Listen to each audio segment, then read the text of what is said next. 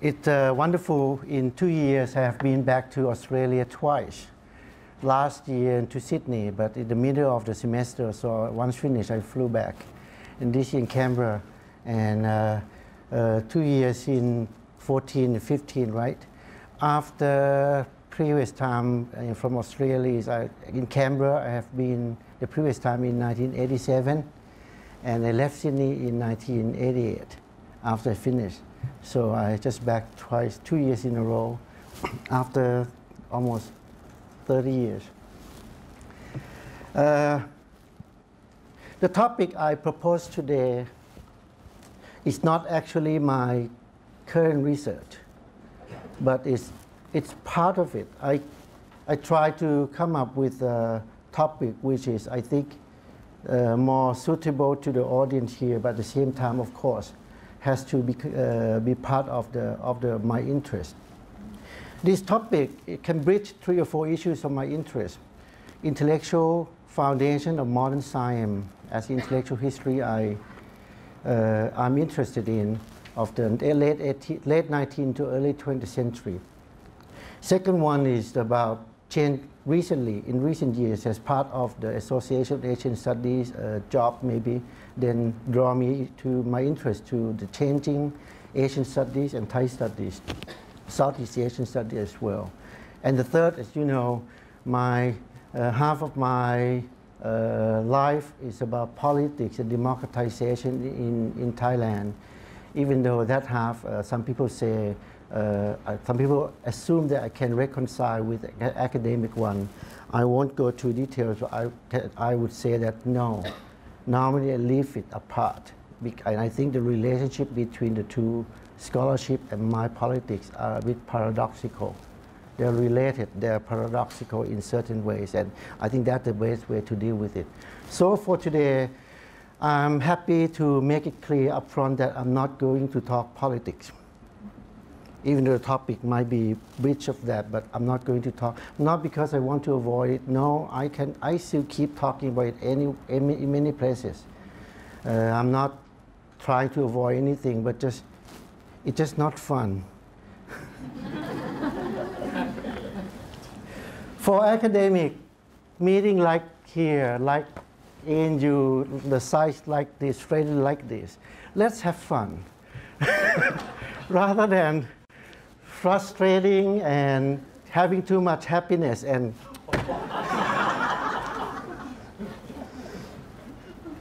so I talk about Naklianog is a Thai word for Thai educator abroad.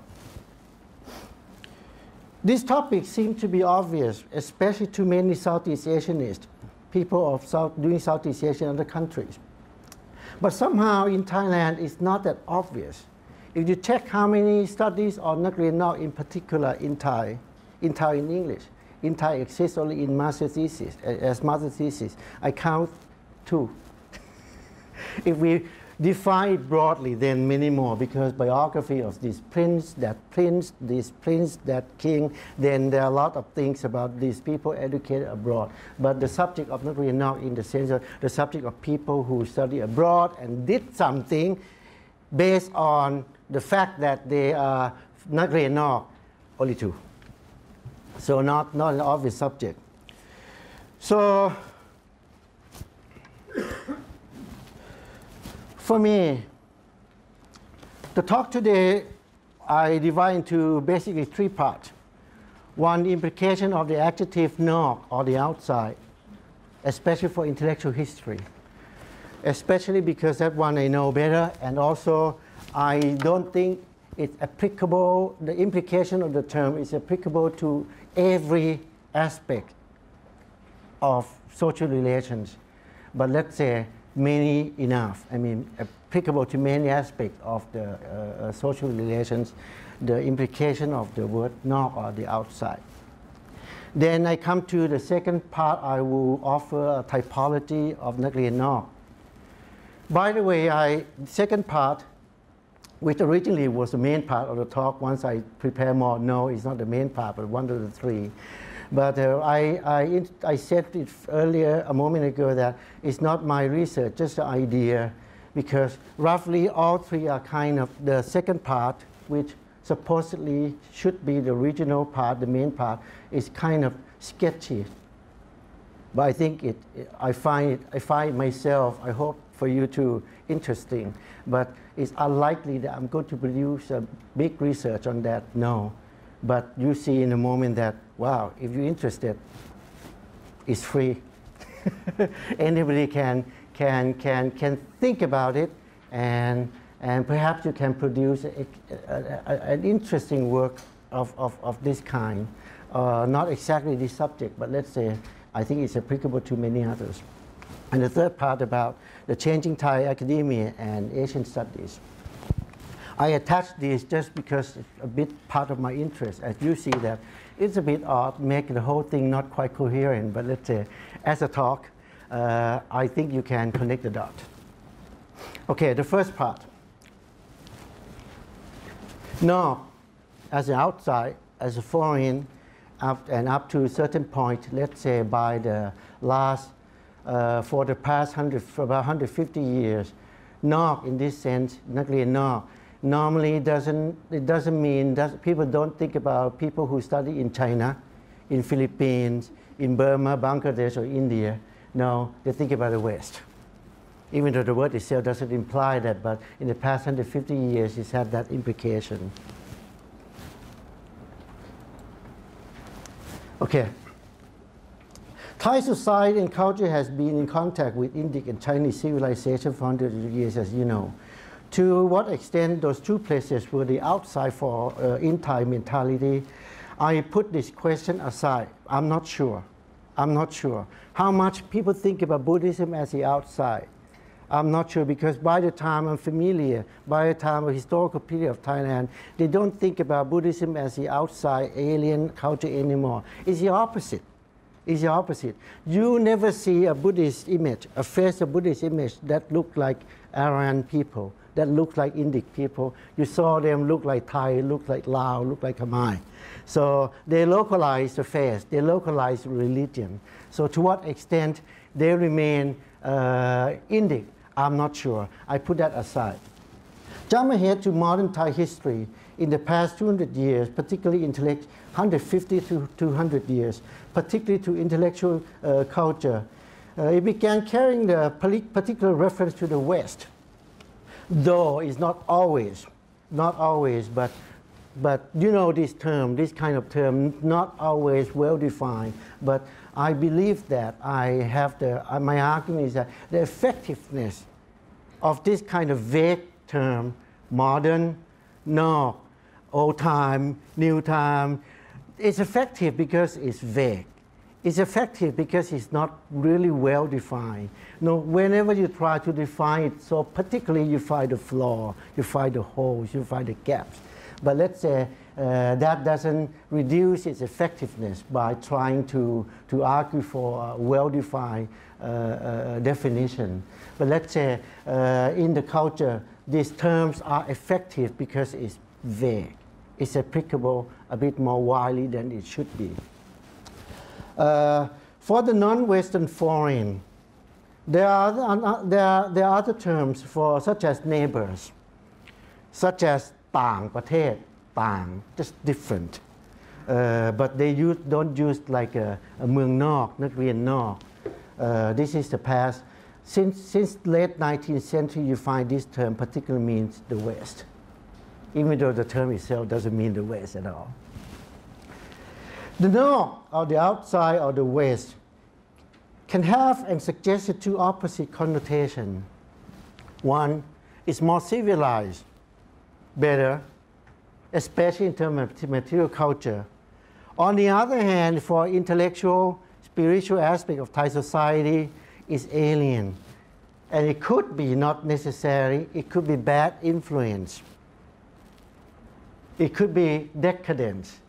It basically it's something to learn, but you should not imitate. So those two, those two aspects I believe many anthropologists here should understand quickly. It doesn't mean those two stay strictly, firmly in one place. No, it's a kind of mark the two poles, mark the perimeter of people can think which knob, which nine, which it should be applicable, which should not. Then the trouble with intellectual history that I have grappled with for years, 20 years, and I grapple and also have fun with is that, in fact, all the problems happen because most of the things in human affairs happen to be in the middle. Such as Prachatipatai democracy is it in or out. You can't say it. The dress is in or out. You can't tell it is in or out. A lot, most, 90% of things are both in and out. So then the argument is forever. The, but that's how society evolved, right? That's how many cultures evolve. Let this debate go on. I mean, in both positive and negative sense. Because people often mark the perimeter. Even though the perimeter is also flawed, it's false dichotomy. But society evolved because it allowed the debate to go on in between. It allowed the debate to uh, happen forever. Then some kind, some, most of the time, the conservative uh, interpretation won, sometimes the liberal one, but it depends. It depends. This is how, how Thai society, like many other society, also grapple with and struggle with what is in and out, even though the in and out itself is uh, both is the notion that dichotomy is flawed.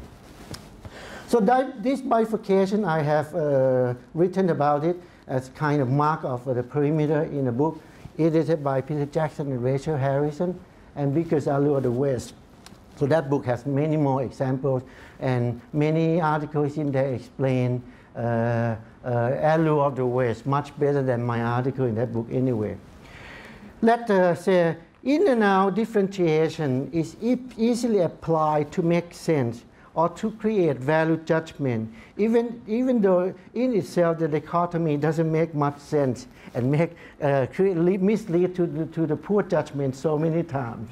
Uh, as I say, this is how culture works. As far as I understand as a historian, this is how it, it works. Among the influential ones, in fact, in and now, is among the in, influential ones, uh, is among influential frame I mean, we talk about conceptual frame. Now we think, try to think about this theory, that theoretic, that theoretical argument is a kind of sophisticated thing. Don't you think in and out is a kind of simplified, simplistic, conceptual term as well? And in fact, it's so influential and widespread conceptual term because it's so easily understood. Or to put it too precisely, it's so easily misunderstood. That's how it works. So there are a lot of, of famous dictum in Thai which play with the in and out. I raised just one issue, which seems politics, but I call it intellectual history. The idea about democracy in Thailand, democracy. First, we saw it appear in the, in the, in the, in the, in the text. In the late 19th century, the last decade of late 19th, the last decade of 19th century, and become a kind of written down in a, a text in 1903. We saw the argument that at the time there's no Thai word for democracy, they use it democracy. Democracy is suitable for the society that grow wheat. Thai society eat rice. So be careful because uh, things that grow with wheat culture doesn't fit the rice culture. Uh-huh. Of course, the author didn't think about the rice eating people up the mountain, and rice eating people in southern China and many other places. No, this is just, that's why it's false dichotomy. But it, it works to warn people that, hey, don't be crazy about democracy, because democracy fits the wheat culture, not the rice culture. That saying has been used so many times.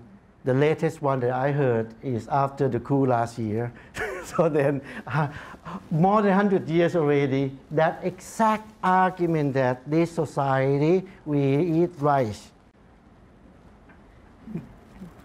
It's actually just the past few weeks, right? The, the one of the minister who, who says something against, I don't know against who, the US or the EU things, saying that no, if you want to do, I mean, the thing we do is doesn't fit for people who uh, grew, uh, grew, up with a wheat culture. It's different. That, that's the way it in and out. Or, or the general say that call democracy as democracy trap. That's the way they see in and out. Critical to the monarchy, if you're critical to the monarchy, one the normal uh, saying, you wouldn't believe, but it's true, it's so widespread, people would say, get out of the country. The good thing is they won't kill you, but they said, get out of the country. So mean that you didn't have proper right attitude of the monarchy, the place for you is outside. It's outside. The place for you is outside. Because otherwise, you're inside, you should be on trial. So they get out of the country, that's a common saying, because the country belongs to the king. As an outsider, therefore, I think Andrew is familiar with this, Westerners cannot know Thailand better than Thais. Many Thai people who do Thai study familiar with this. Uh, even though Australian, I'm not sure it's in the west or in the east. yeah, wonderful place. Uh, the, the most wonderful place is Hawaii because the east of Hawaii is the west. The west of Hawaii is the east. Talking about dichotomies, we can play a lot of fun with it. Years ago, even Thai academics are not immune for this years ago when Nithi Eoseewong, if I hope you know, a famous influential historian of a current time, in 1982, when he first produced a, a, a kind of breakthrough academic work, not even political, academic work,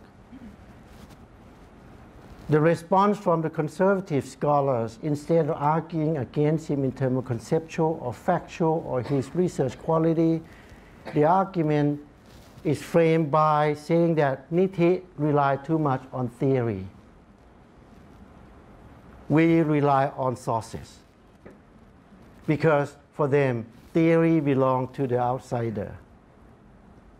I made a criticism to another scholar years later. I didn't do any theory at all. Argument is just plain criticize his series of books. In fact, the book is on post-colonialism, so I criticize the way he used theory. The criticism I got is, oh, don't worry, because Thongchai always just work on theory.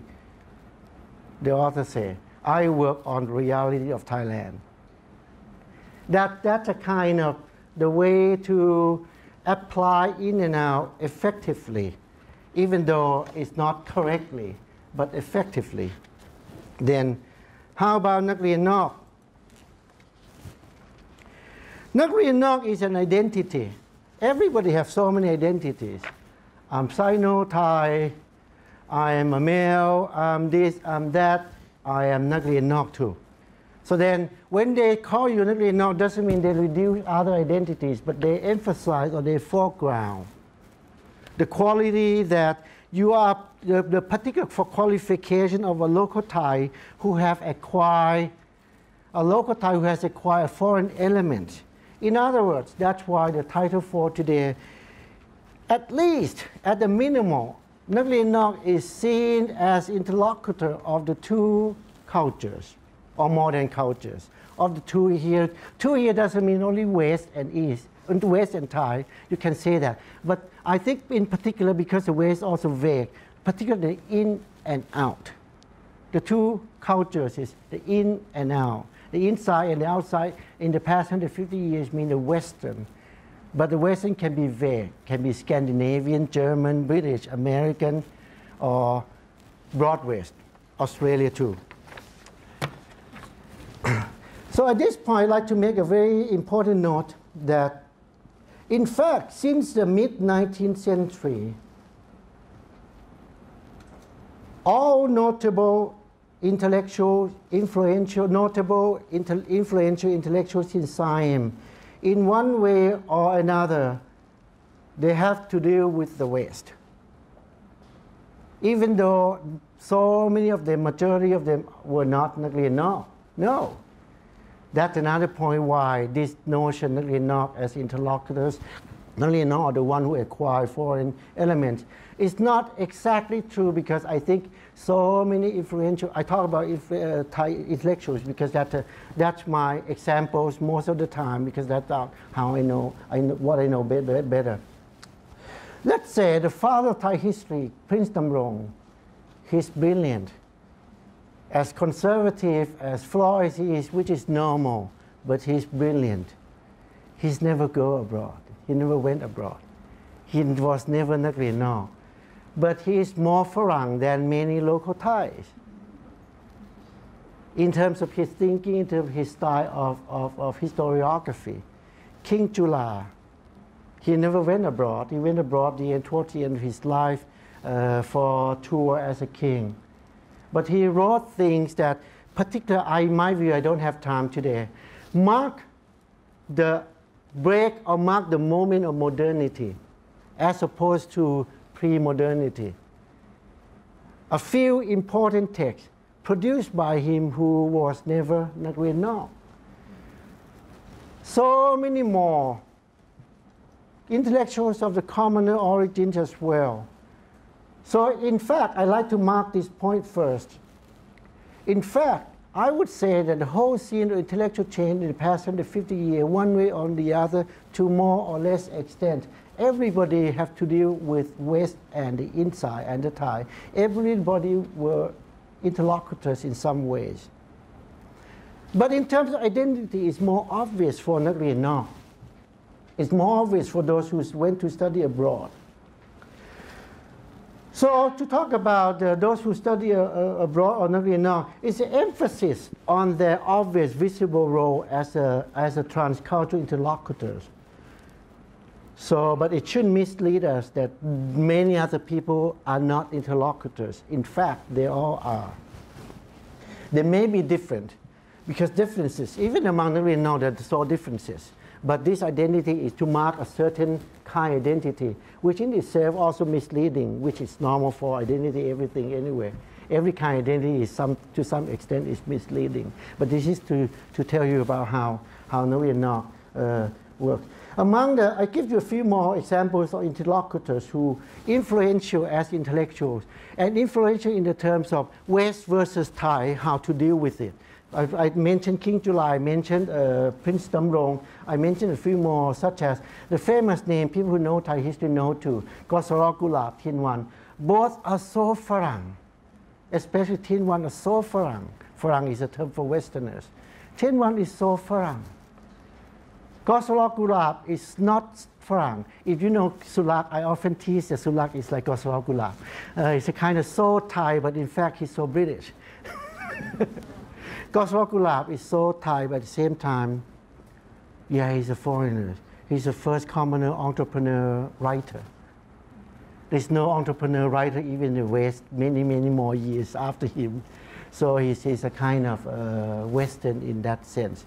Live his life by producing, publishing books, which is very fun. Who else? In our recent time, people like Suchat Sawatsi, a famous editor and writer, he never went abroad.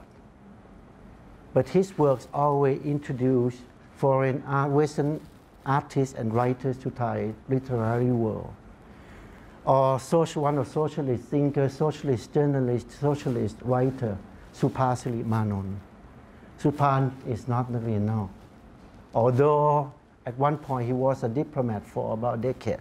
He was posted in USSR, in Switzerland for a while when he was in, in foreign services. But otherwise, he was a writer, he was an editor, journalist. So ultimately, in and out are simplistic but could mislead, but it's useful because exactly because it is effective. So acquiring a degree from the West, acquiring a degree from the West is good is international stamp of approval of a local product. People see it positively. But once you behave too Western, and in terms of intellectual history, intellectual influence, once you try to advocate something which is seen too Western, to say that you, oh, you are not really enough, it turned to be a criticism, a satire. So the same phrase, oh, you're not really enough, could be admiration because you finished from Harvard You finish from this and that, ANU, whatever. But at the same, exactly the same time, oh, you are not really no. It's a kind of sign, oh, criticism that satire that, okay, you are an alien. You bring out the idea that is not suitable here. It goes both ways. It's a kind of subtle difference. You have to work it out. That, that's the way it's always the word. For example, the key members of 1932 revolutionaries was called since, his, since their time, since 1932, that, oh, because they are not really no. Hey, King Vajiravudh also not really no. King Rama VII, who was ousted, who was overthrown, he was not really no. As a matter of fact, don't you know that King Rama VII, the last king absolute monarchy, his lingua franca was English. Yeah. In his day-to-day talking, he can talk both Thai and English. And English he's more comfortable. He's writing always in English. He needs people to help writing Thai. That King Rama VII but people never say, King Rama VII, you are not no. No. people say, pretty people, those revolutionaries in 1932 who that overthrew the absolute monarchy, they are not really no. And in the sense of satire, in the sense of stigma, that stigma stick many more decades after that.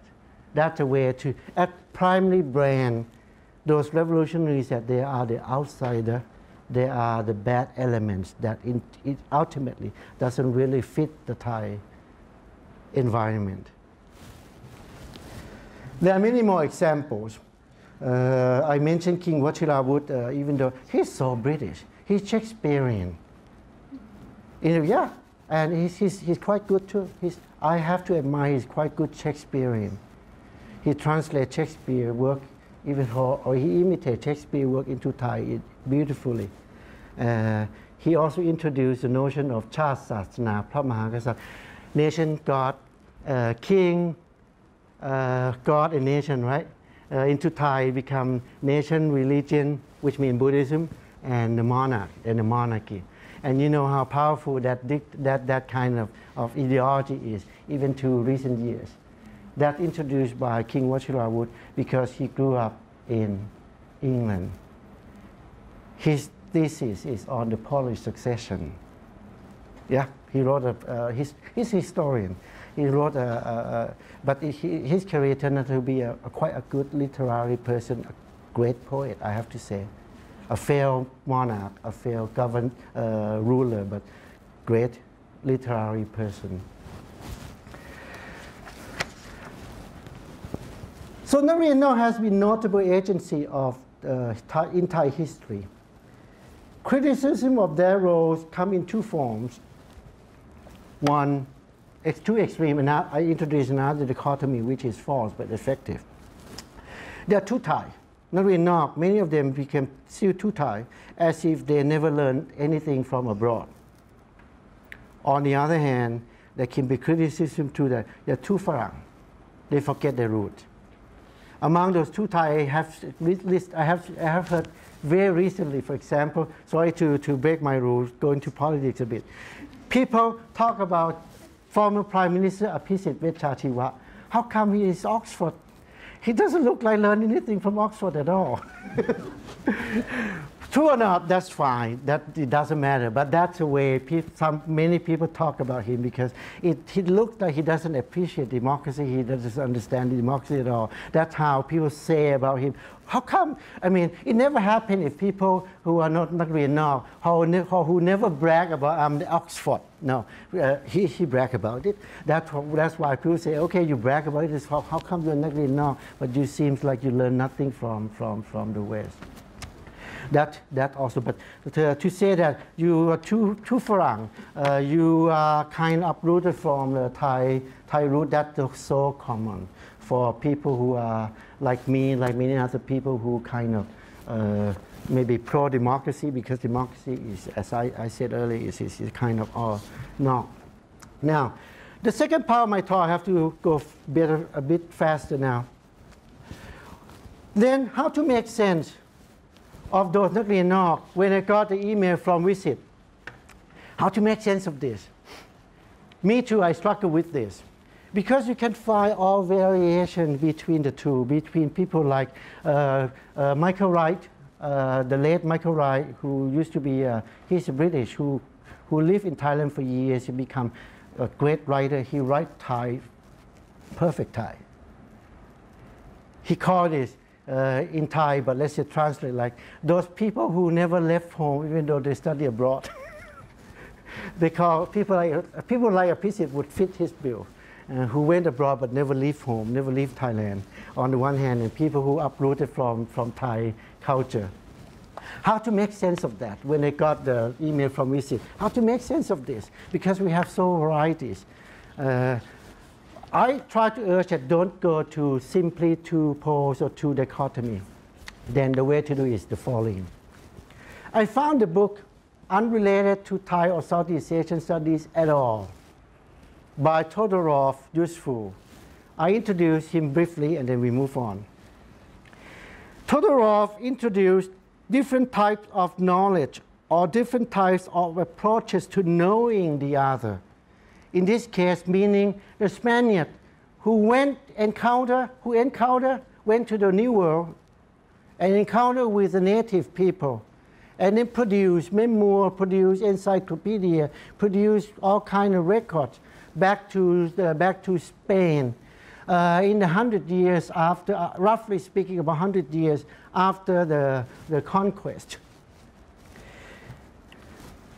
In the book, you see all six names. In short, it is a comparative intellectual biographies.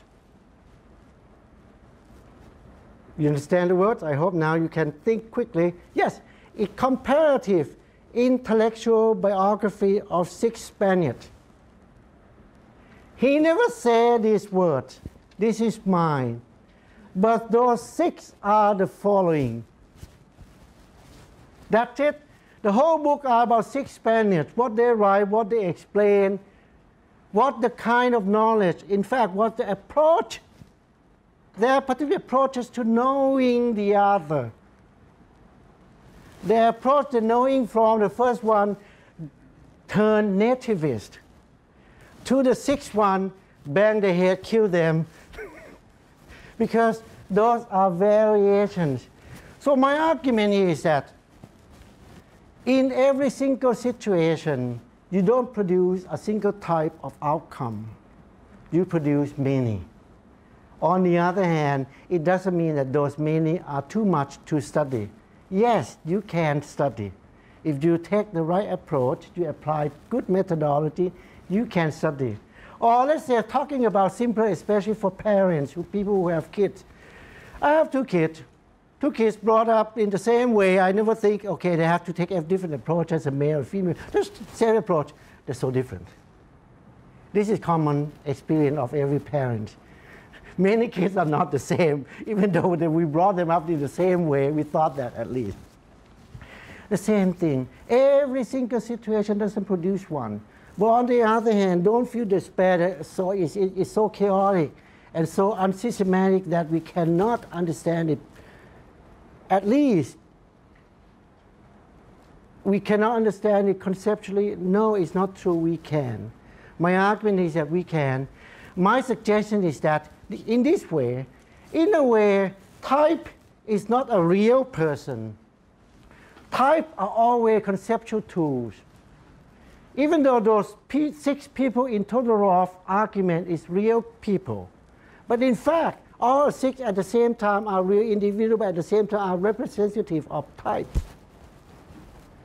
In other words, to make it more simpler, simplify the complexity. Yeah, you hear your argument, you hear your, your advisor all the time. Complexify your simple argument. Don't simplify it, don't make it too simplistic. Here, my argument is that simplify the complexity bring it down into types. But don't be trapped by types. Don't be trapped by your own typology. No. Use typology as a tool to understand the vast variation. You can stick particular people to somewhere between three and four, or exactly three, exactly five, somewhere between one and two. Then you have, you can make sense better. I don't promise that there are only six. There could be four, there could be eight. I don't know. But think about it. In this way, you can have categories of the insider as well. Of course, it depends on what criteria. In this case, you can see, you just glance, take a, take a quick look. You can see that, uh-oh, I have two criteria in mind at the same time. One is political criteria, from pro-establishment to a radical rabble-rouser, or, or, or to collab. This one is, doesn't fit political because collaborator can be go everywhere. But I have the second kind of not neat, but let's say I put in one screen, a kind of, let's say you can have a, I think I have it. No, I don't have.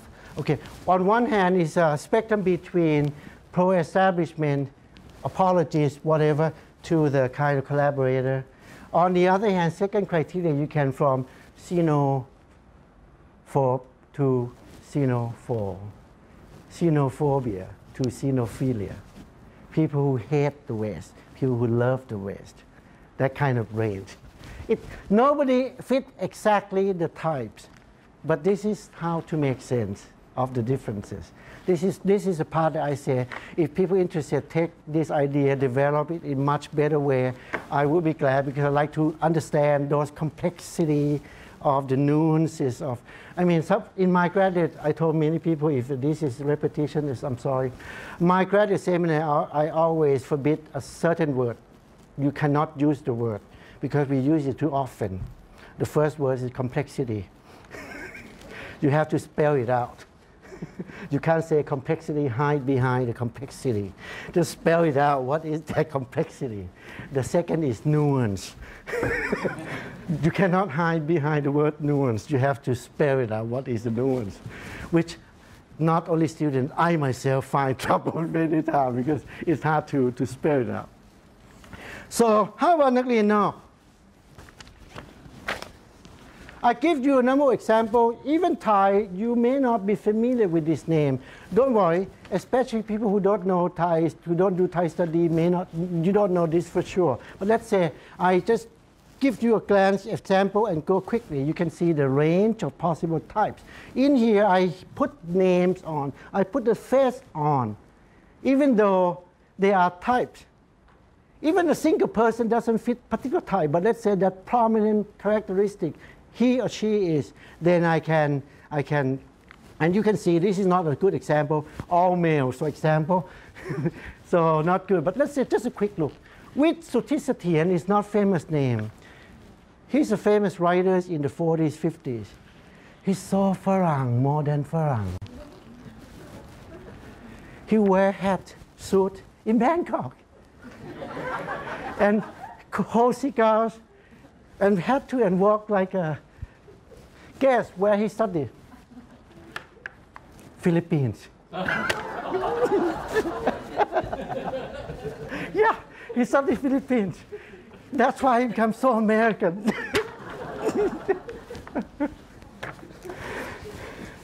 People like Ajahn our contemporary, uh, you can tell him, but let's say I, he would be stare at me. Sane, doesn't know how to joke. Ajahn he writes Thai. You don't understand his Thai unless you translate into English. but yet, he's a champion of local wisdom. and don't tell him that, no, he never understands the local people. No. He would deny, he would refuse it, but that's how, not just me, many people see him that way.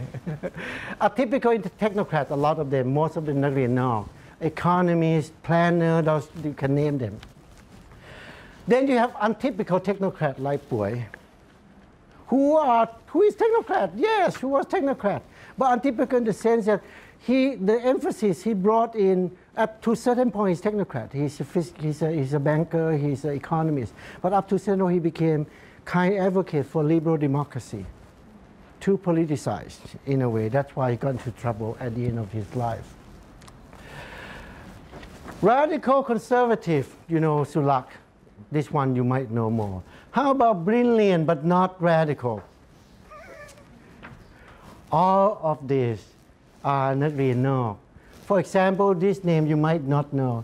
He's an ideologue. He's a regent one time in 1940.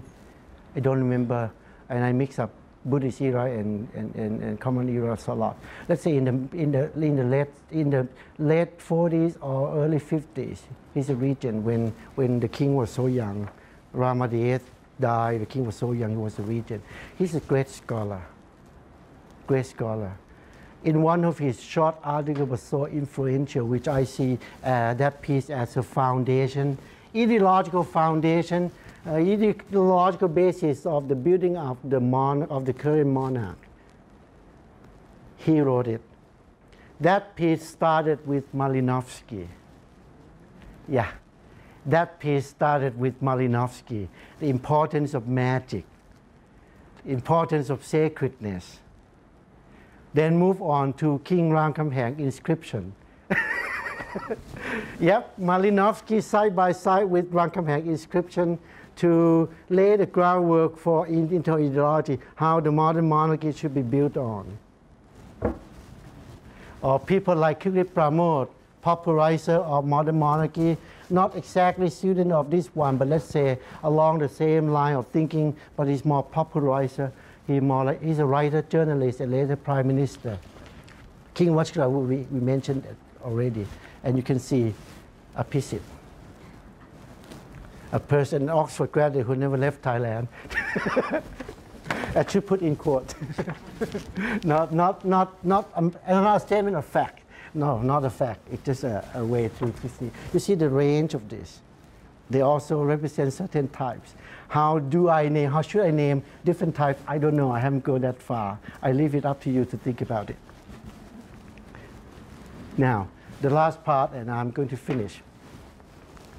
This part can be cut off, and I finish here, but I, I just love to add it on, so I just do it, indulge myself, adding it on. The point is that Nagrinok is a, as a category nearly now as a category, uh, have been, let's say, have, have a role about late 19th century, mid to late 19th century, up to about, let's say, 1960s. As an identity, people call Nakrian Nok as an identity. Lately, maybe your generation, people don't call that anymore. Why? Because so many people are Nakrian Nok. It doesn't have distinctive value anymore. By 1780s, people, Thai people went abroad a lot and came back in so many professions. So it lose its distinctive value, not because they disappear, no, because it become common. Not really Nok in earlier period, their role or their place is not in intellectual, it's not in academia, no. It's in the bureaucracy.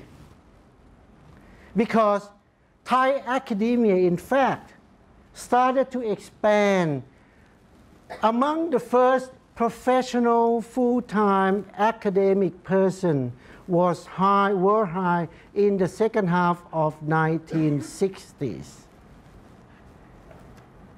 If you count, if you call academia as a kind of community of that kind of professional people, it's very young.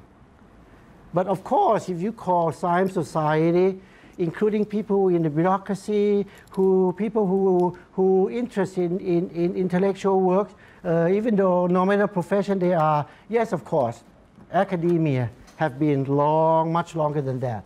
But the, the academia, in the way we talk about, in Thailand, just about the 60s, at the time when the distinctive value of Nakrian Nok started to dilute. Doesn't mean that Nakrian Nok play no role or Nakrian Nok doesn't do anything anymore. No, but people don't call that because you are not Vietnam, so you have influence in such and such ways. Because everybody is not Vietnam. Let's say most people are not Vietnam, so they don't call it distinctively. But let's say the reason I put this part in because the role, at least for many Nagrianok, many who are educated abroad from now, at least this sector, you go back to academia. Even though I put the first, I put, I, I just said a moment ago, in fact, so the majority of no, they never get to, to the academia. No, they go to other profession and no distinctive value anymore. So this part, to be fair, I'm not talking about the whole Nagrianok, I'm just talking about people like you, many Thais here in particular. The point here is that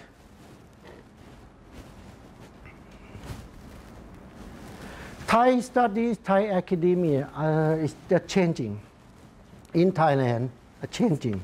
There's so many ways we can talk about that change.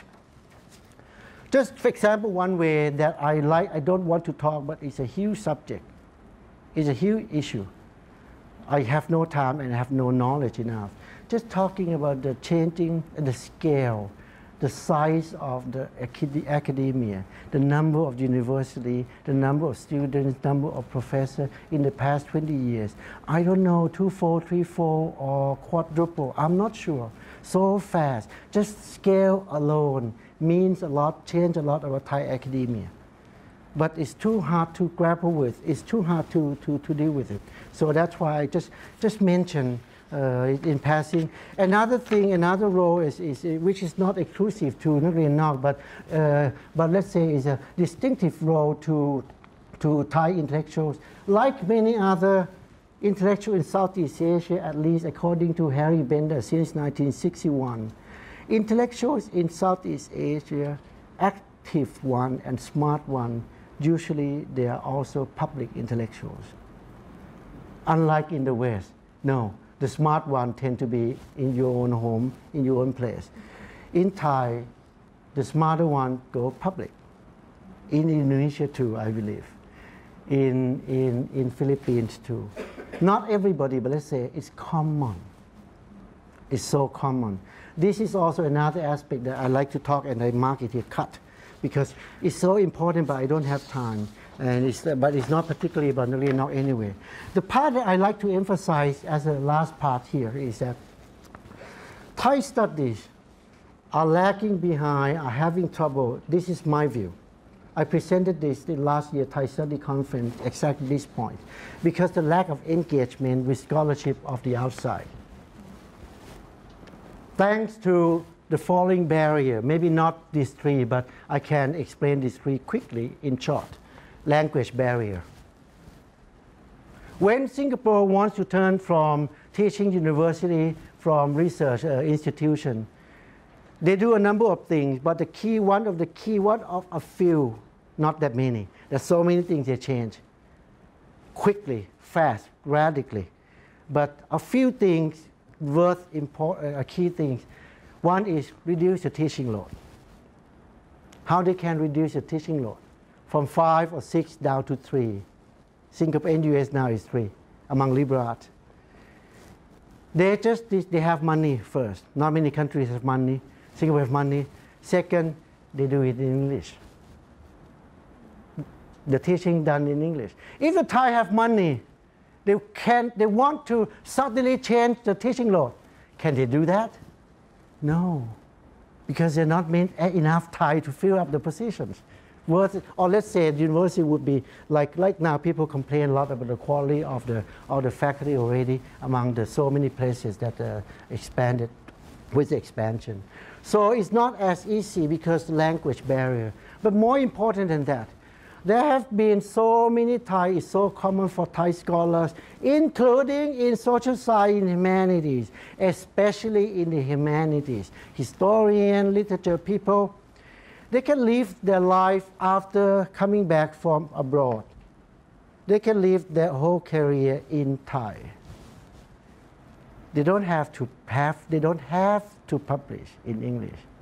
Now maybe change, but let's say up to recently, they don't have to publish in English. They don't have to read or follow the journals in English.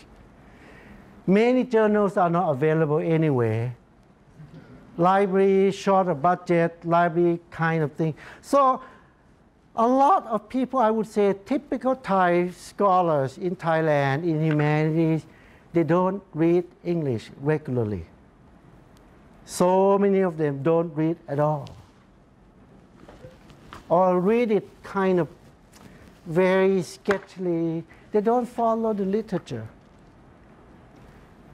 You can see the peril of that refuse or deny or failure to follow the literature in your field.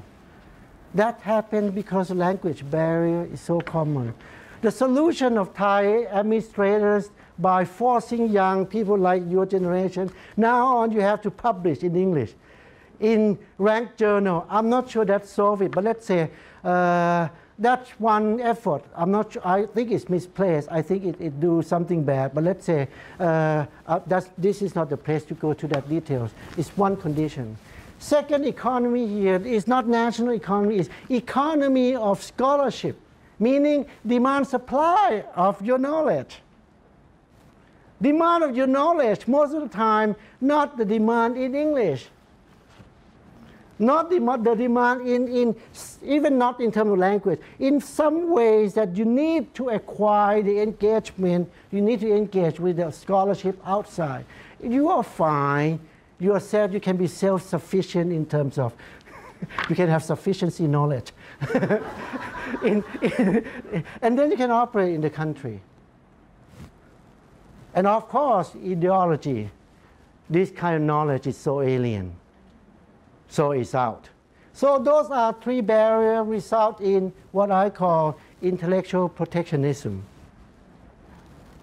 Whenever you get to intellectual protectionism, the quality tend to go down in Thai intellectual, Thai scholarship as well. This is the first the, the thing I want to do about Thai studies.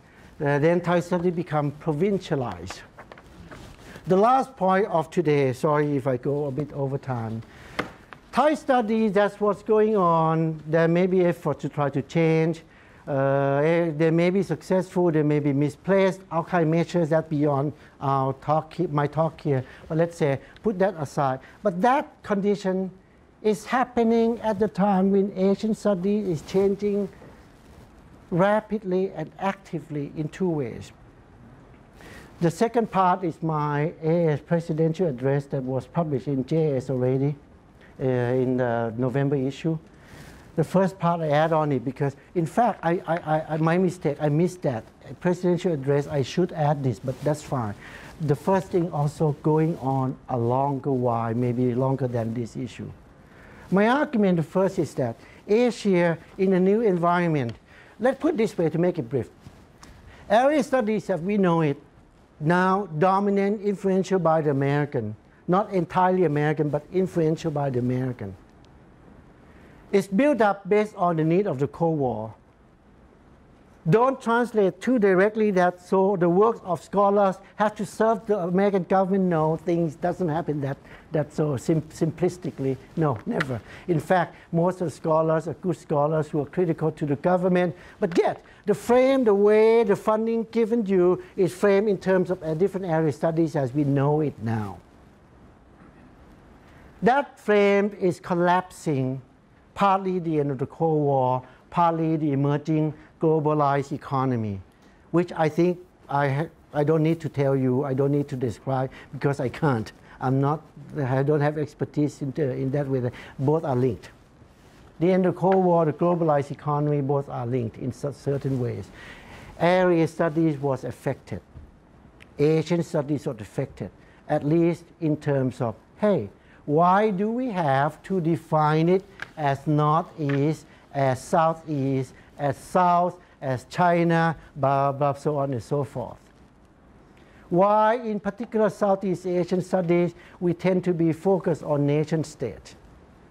By now, you realize that you have read so much work since the 80s, I would say, quite a while ago, since the 80s. Uh, since the 80s, people try to, scholars try to transcend that kind of limit that kind of definition.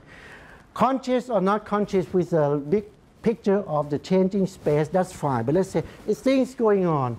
Now, among the fads, among the fashionable thing is more like transnational Asia, or to make it short, trans-Asia, inter-Asia, intra-Asia, uh, what else? And defining region in so many different ways. You might see it as an uh, as a intellectual fun. Yeah, it's a kind of intellectual exercise for fun, but it also have impact. It also have effect because it suddenly we starting to know, to have the knowledge that Asia or, or different shape, different forms of Asia is possible to know. It's possible to know. It used to be the knowledge that fall into the crack because it doesn't fit the region. But now it becomes the knowledge in full bloom. Suddenly we realize that there's so many ways of defining Asia, spatially. And by those, just simply, basically, not simply, just basically by defining the space of Asia differently, you found different knowledge. I saw Ariel, I suddenly think, yeah, Ariel has done this a lot. You define culture studies, popular culture, it doesn't fit the region that you try to fit it even though it produced in certain languages. In fact, it doesn't fit the region that we try to fit it. It crossed. It less is more. Whatever, it doesn't exactly fit the region we want. We seem to know this for a long while, even before the 80s, but we didn't do it. We didn't produce the knowledge in act actively in the real way until maybe since the 80s. People like Tony Reid, many other people or the famous one beyond Southeast Asia, like Ken Pomeranz, like Sanjay Subrahmanyam. Those people, those work, those kind of work are important.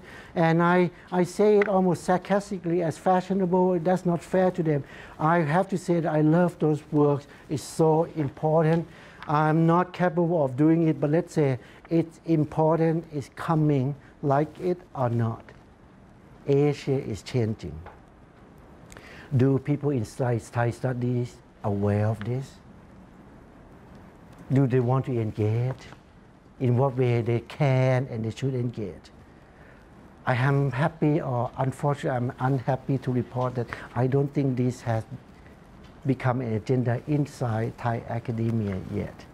It has been for Thai people outside, yes. Andrew, Peter, I can saw the face. We know of this, but it hasn't been an issue much in Thailand things have changed. My last, last of the last point. The side of production of Asian studies is also changing, meaning, meaning the following. One of the privilege of the being president of the AAS is going around the countries to see people who do Asian studies in the region. Many of them never show up in the annual meeting because they, they always fail to get their proposal accepted or so many of them are graduate students. A few places, including undergrads. The privilege gave me the, the knowledge that uh, confirm my speculation, but confirm, even though there's no statistics, the number of faculty of scholars in Asia, in Asian studies, I mean, who teach courses and do research on Asian studies in the US right now, rapidly rapidly change demography. They are Asians. They are Asians.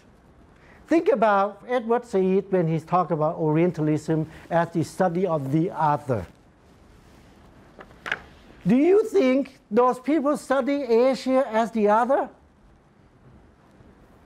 Maybe not their insider. Maybe they were denied. Maybe many of them are like me. Maybe they are in between people like me. But let's say definitely I never studied Thailand and like the other. It may be the other of me in certain way, but they're not the other in the sense of the West versus the East, like Said suggests.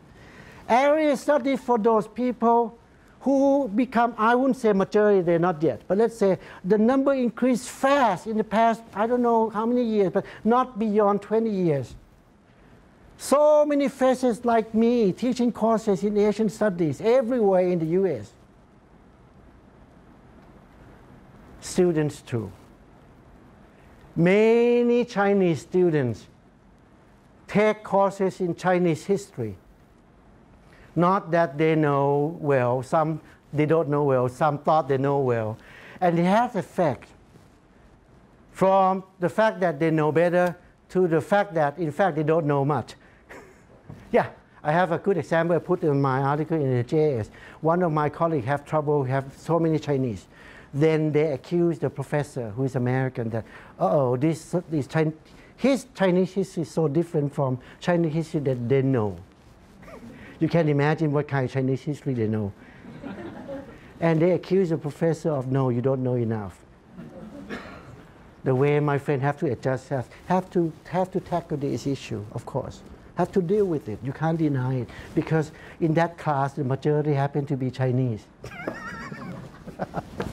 so this kind of this kind of news, this kind of information, not rumors, happening fast, increasingly. On the other hand, this December, the first conference of Southeast Asian Studies by Consortium of Southeast Asian Studies, right? Southeast Asian Studies everywhere pop up fast in Southeast Asia. They may try, even let's say Singapore, they may want to be Cornell, they may want to be Harvard, whatever, but in the end, consciously and not consciously, they will find that they have to find their own identity. That would take time, but that will happen. Asian study produced in Asia would eventually, I don't know how long, have their own characteristics. I don't mean it's good, I don't mean it's bad, I really don't know. For example, if happens today, right now, it will become policy oriented and market serving. a lot of them. I don't like that, of course. But let's say, don't you think colonial age area studies or American area studies started the same way? Yeah. Starting by trying, making a lot of mistakes, Asian studies overall are moving towards Asia. I'm not saying that America is going over. No, when people say, so America is over, right? I ask them, do you think British education, British university all gone bad? You don't go to Britain anymore? Not true, right? so it's not that easy. But suffice to say that Asian studies in Asia, especially in China, is becoming forceful. Like it or not, that's happening. Then, last, last, last point. Think about Thai academia that you have, many of you here have to go back and spend your career with. What kind of Thai academia you would want to produce, you would want to share in 10, 20 years from now? In the environment of Thai studies, as I told you, in the environment of Asian studies, as I just told you. I'm not sure that I'm 100%, I'm sure I'm not 100% correct, but this is just a broad trend. Think about it, how long, how more you can avoid or you can let the situation that the inadequate engagement with the outside world, outside scholarship going on. If you can't, what to do? At the institutional level, and down to your own individual level. How would you do the engagement? Then back to the original issue I start this talk.